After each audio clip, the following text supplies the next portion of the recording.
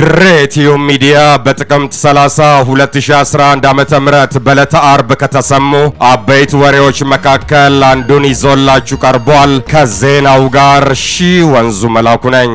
የድሬዳዋ ኢንዱስትሪ ፓርክ ግንባታ ተጠናቀቀ። በ14500 ሄክታር መሬት ላይ ያረፈው የድሬዳዋ ኢንዱስትሪ ፓርክ ግንባታ ሙሉ ለሙሉ መጠናቀቁን የአስተዳደሩ ከንቲባ አቶ ኢብራሂም ኡስማን ተናግረዋል። የኢንዱስትሪ ፓርኩ ከአንድ ወር በኋላ ይመረቃል ተብሎ ይጠበቃል። የፌዴሬሽን ምክር ቤት አፈ ጉባኤ ወይዘሮ ኬሪያ ኢብራሂም በድሬዳዋ ኢንዱስትሪ ፓርክ ተገኝተው ጉብኝት አድርገዋል። ኢንዱስትሪ ፓርኩ አንድ ከተማ ሊኖረው የሚገባውን መሰረተ ልማትና ሌሎችን ያካተተ ነው።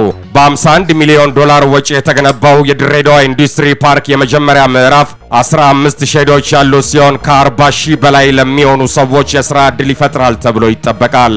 የድሬዳዋ ኢንዱስትሪ ፓርክ ከድሬዳዋ ከተማ 14 ኪሎ ሜትር ርቀት ላይ የሚገኝ ነው። በድሬዳዋ የተካሄደውን የሰላም ኮንፈረንስ መጠናቀቅ ተከትሎ የአስተዳደሩን የልማት ስራዎች ተዘዋውረው የጎበኙት አፈ ጉባኤ ወይዘሮ ኬሪያ የኢንዱስትሪ ፓርክ የኢትዮ ጅቡቲ ምድር ባቡር አክሲዮን ማህበርና የድሬዳዋ ሚሌኒየም ፓርክን ጎብኝተዋል ሲል የዘገበው ኢዜአ ነው።